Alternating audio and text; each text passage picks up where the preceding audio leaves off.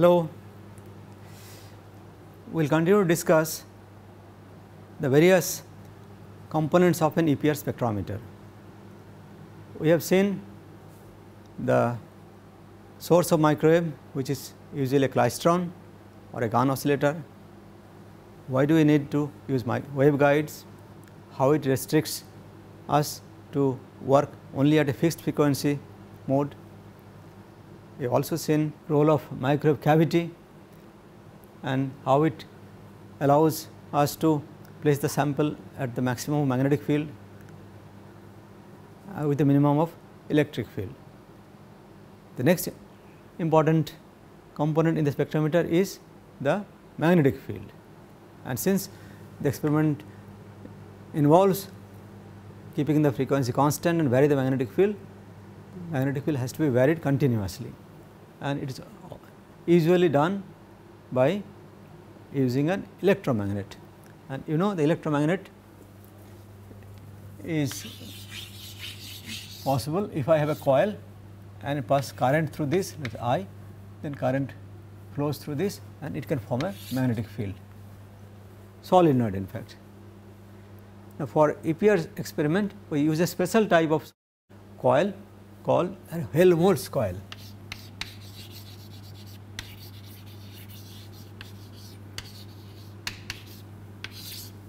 So, let us start from here, coil goes here and then there is a gap and then another part of coil comes here and then here we apply current here I goes here and here.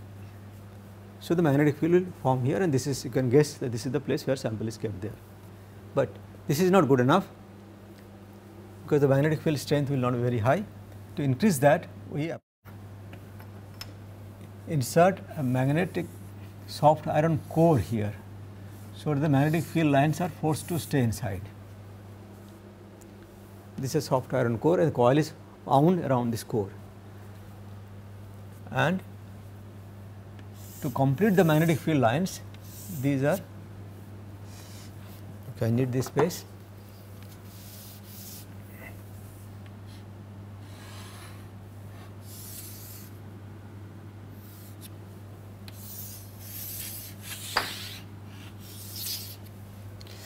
This is a yoke. So, the double yoke arrangement is used. This is all made up of soft iron core.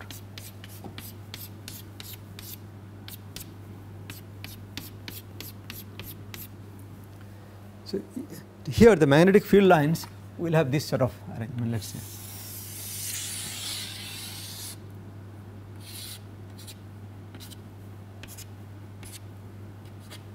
Similarly, here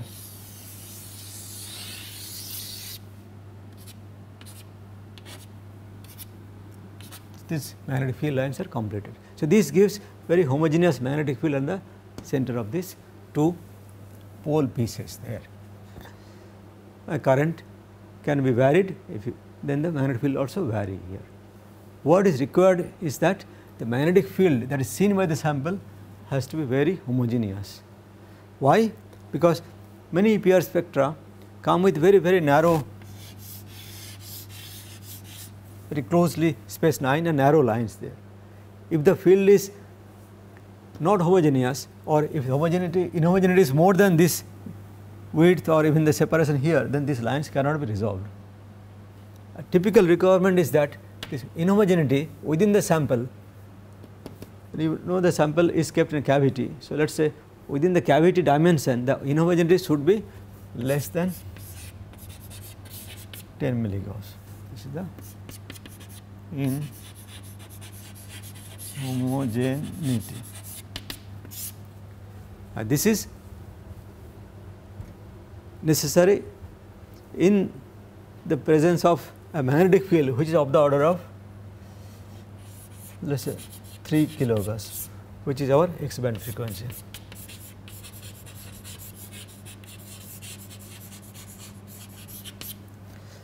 which is the typical requirement of the homogeneity of the magnetic field there.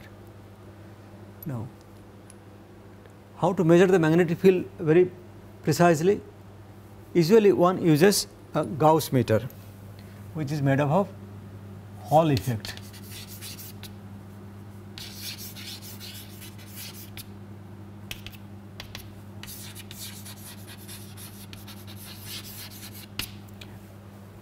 So, this Hall effect Gauss meter the probe is kept somewhere here and the magnetic field can be measured.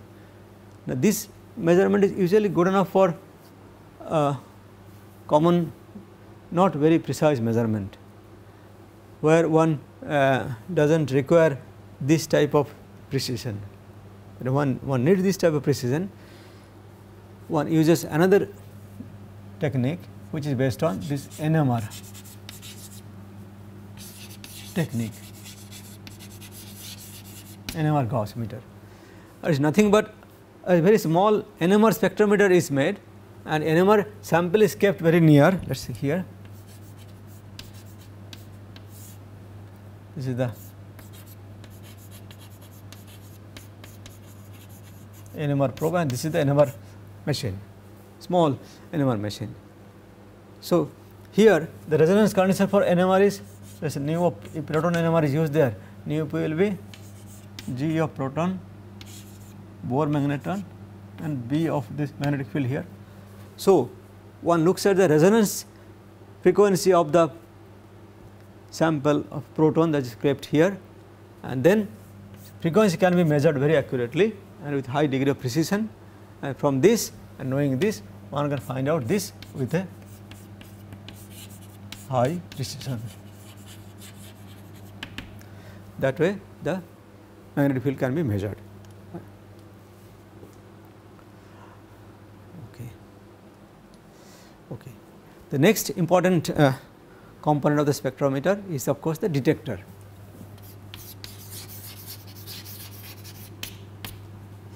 So, detector job is to measure the microwave power that is coming out of the cavity and which will carry the information about the absorption of microwave by the sample. So, what it does is to convert the microwave power to electrical current or voltages. So, that it can be further amplified and, and recorded. Now, the detector that is used in EPR spectroscopy is usually a detector silicon diode, something like this. This is a diode, so diode is kept inside. So, when radiation falls this on this one, this looks at the electric field of the microwave and the current is produced here which is related to the intensity of the microwave. So, here I can put a voltmeter and put a resistance and current meter this one the resistance could be varied. So, by adjusting the variable resistance I can vary the current. So, this is a simple detector. Now, the trouble is that this being a diode it is not a linear device. Current that is generated here because of the micro power is a very non-linear function of the power that is falling on the diode and it looks like this.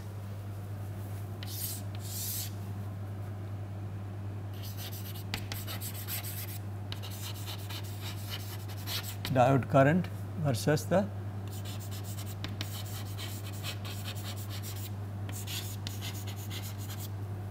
power. So, it, it sort of like this type of behavior.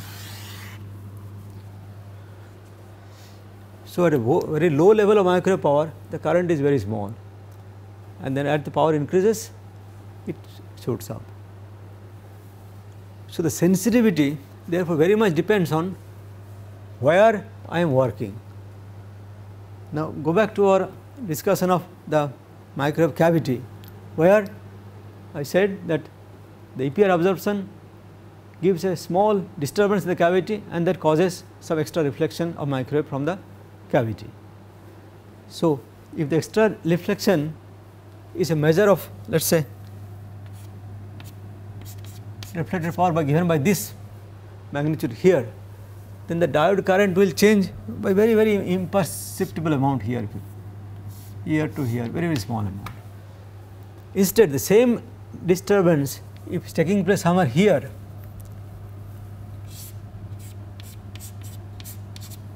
then you see that there will be this much change in the diode current. So, here it becomes much more sensitive for the same change of reflected power from the cavity. If the diode is working here, it is become insensitive. When it works here, it is much more sensitive. So, it is very important therefore to decide where we want to work. Obviously, we want to work here. Now, to do that, I, I therefore have to adjust the operating position of the diode somewhere in this region there. Now, this is easily done by giving a bias power to the diode that is you allow a constant microwave power to fall on the diode all the time and that we can decide where we are. Now, this can be done two ways microwave power enters here and using this iris tuning arrangement here I match it very well and I said ideally matching should be such that no power gets reflected from here. Instead of that suppose I sacrifice some amount of sensitivity and mismatch it deliberately let microwave power gets out of this and we bring this operating condition somewhere here. That is the way one can do and then EPR spectrum will be adding more to the reflection and then that will be the EPR signal. But then you see we are sacrificing some amount of sensitivity by deliberately mismatching the cavity matching. So, another way to do would be that we work at the critical matching so that so that no reflection takes place. Instead we find some other path to bring microwave to the diode which we will see later in our EPR spectrometer diagram which is called the biasing the diode using a different path of the microwave power that falls on the diode. Now, here how much bias power I can give the way it looks like the more the merrier type of arrangement that if you go in keep on increasing the sensitivity seems to be increasing, but that does not happen. Like all electron device a diode also produces noise. Uh, this noise depends on the bias power. The bias power if you keep on increasing noise also increases and that is shown here quantitatively in this uh, slide here. So, this is the crystal current. So, increasing crystal current is possible by increasing the micro power falling on the cavity on the diode. So, L stands for the loss for converting the microwave to the voltage. So, as the crystal current increases the loss decreases that is what I said that if you keep on increasing here the efficiency of conversion from volt microwave power to voltage increases. But at the same time the noise which is thermal noise which is um, related to some sort of parameter called temperature that keeps increasing here in the linear direction. So, increasing crystal current or increasing bias increases the noise component. So, you can't keep on increasing the bias in this fashion here, you have to have a certain compromise. I get an optimum sensitivity and optimum noise. So, with this we have covered all the major components of an EPR spectrometer. Before I conclude, I like to introduce a unit of measuring this various characteristics of this microwave components and uh, microwave power and this unit is called unit of let us say attenuation or amplification which is called dB. dB stands for decibel what it is. Before I say what it is, it is all, all microwave components when they carry microwave they lose certain amount of radiation that is the loss this one here. So, radiation goes through this tube, this hollow portion here, but idea is that it whatever goes in must come out, nothing should be lost here, but that is never possible.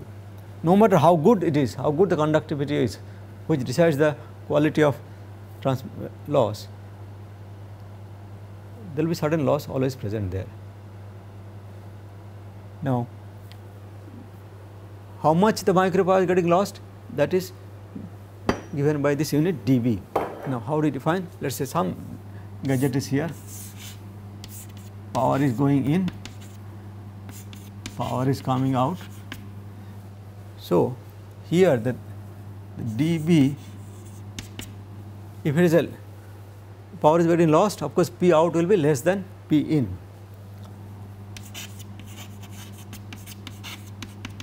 That is some loss is taking place there. dB in loss in dB is given as 10 log to the power base 10 P in by P out. So, this is a logarithmic scale. So, if let us say P in is or P out into 2 sorry.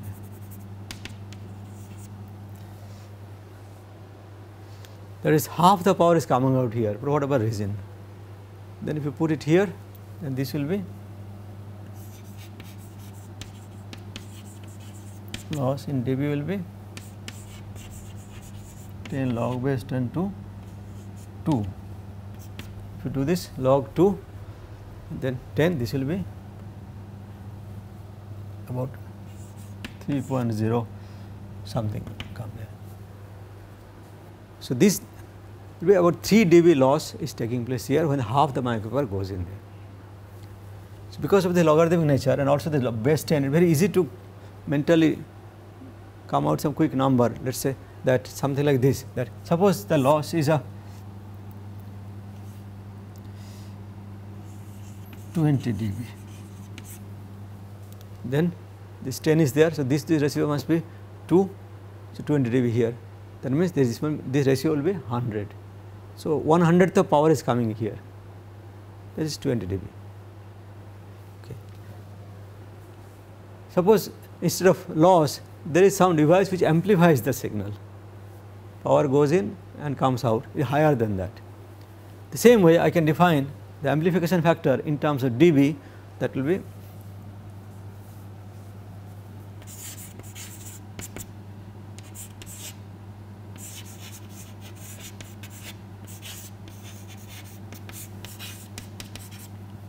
here this is higher than that.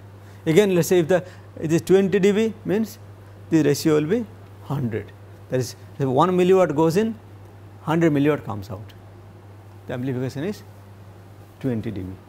So, this is a, therefore a ratio measurement for every device there will be certain loss because of its own intrinsic loss of this one and then there could be property of the, of the device could also be such that in one direction micropower goes in and other direction it does not come out. We will see some example later. This is called non-reciprocating device. One of them is called the isolator.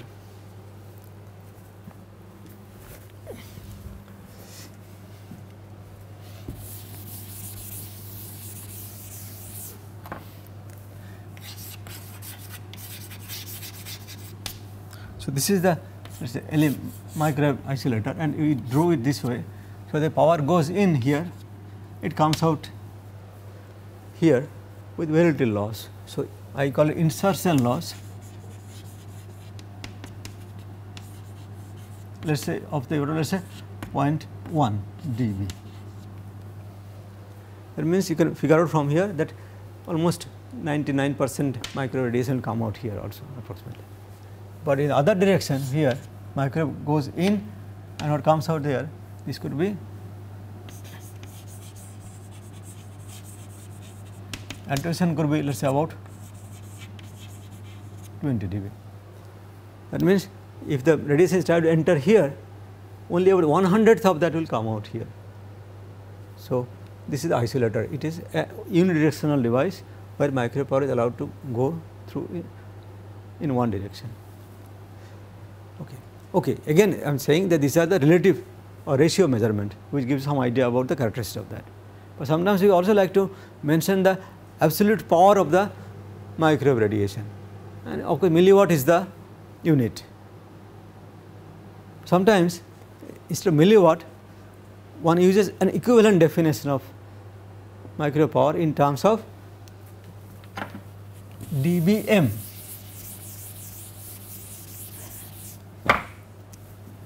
This is called dBm.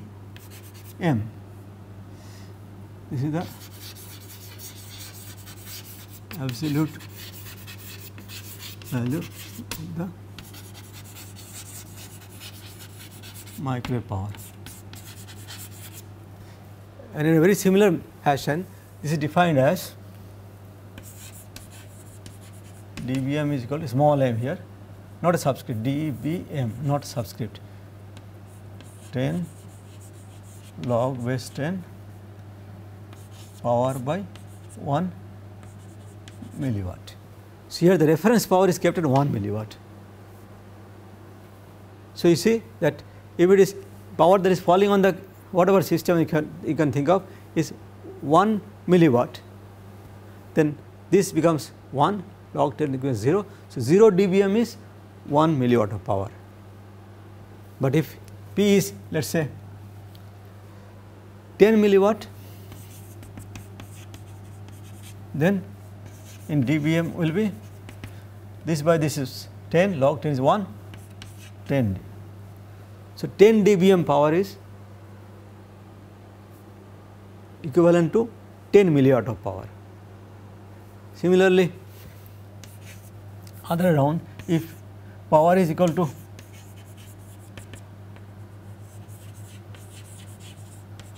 Twenty dBm, what will be the actual power? This will be 20. So, this ratio has to be 100. So, 100 milliwatt of power corresponds to 20 dBm. This corresponds to 100 milliwatt.